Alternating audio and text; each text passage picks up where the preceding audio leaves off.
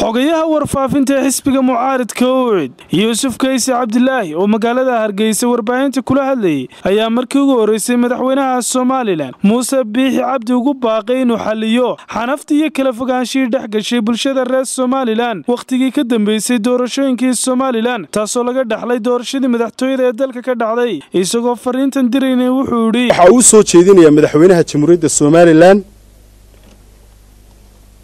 inuu qaado tallaabooyin ficil ah oo uu arrintaa wax kaga qabanayo. Kow waxaa ka ah inuu muujiyo caddaaladdii dalka. Si hadala ugama baahnin ficil inuu ku muujiyo inuu cadaalad u sameeyo shacbiga jamhuuriyadda somalilan qodobka labaad inuu dhegaysto tabashada shacbiga jamhuuriyadda somalilan ee maalin walba ka baxaya tiifiyada u gudbisaan madaxweynaha tabashooyin ay shacbiga somalilan u gudbinayaan. Madaxweynuhu ilaa maanta wuu ka aamusan yahy aamusnaantaasina waxay jaanis siinaysaa cadowga jamhuuriyadda somalilan madaxweynuhu inuu ka aamuso maahe waa inuu tallaabo ficil ah hadal uma baahan toddobiyo labaatan sannadood buu hadal wareeriyey waxaan u baahan nahay tallaabo ficil ah inuu madaxweynuhu wax kaga qabto.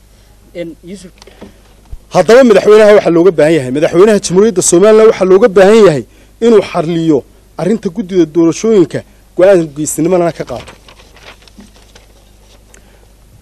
Waxaa kaloo looga baahan yahay saami qaybsigii guraasta golaha wakiilada taasoo suurto gelinaysa qabsoomidda doorashada inuu iyadana go'aan ka qaato. Inuu madaxweynuhu la jaan qaado isbedelada mandaqada geeska ka socda. Inuu madaxweynuhu shacbiga horkacay iyo dadka jamhuuriyadda somalilan una hogaamiyo nidaam dowladnimo si dalkanu u gaadho himilada uu higsanayo. Xisbiga wuxuu ugu baaqayaa golaha wakiilada inay ansixiyaan xeerka hor yaalla intaanay fasaxa gelin. Intaanay fasaxa gelin inay ansixiyaan buu ugu baaqaya.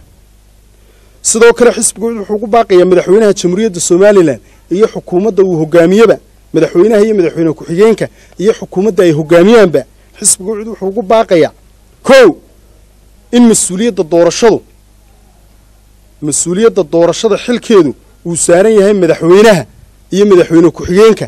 Sabab la'aan wax cudurdaaro ay inoo sheegi karaan ma jiraan iyagaa laga rabaa. Qodobka labaad madaxweynuhu inuu ka guto waajibaadkiisa dastuurigaa golaha wakiilada. Haddii ay fasax ku galaan iyagoo aan ansixin xeerkan iminka hor yaalla iyagoo ansixin waxaa laga rabaa tallaabadii geesinimada lahayd ee uu madaxweyne daahir riyaale kaahin qaatay inuu qaato oo maxkamadda dastuuriga u gudbiyo. Si ay doorashadu u qabsanto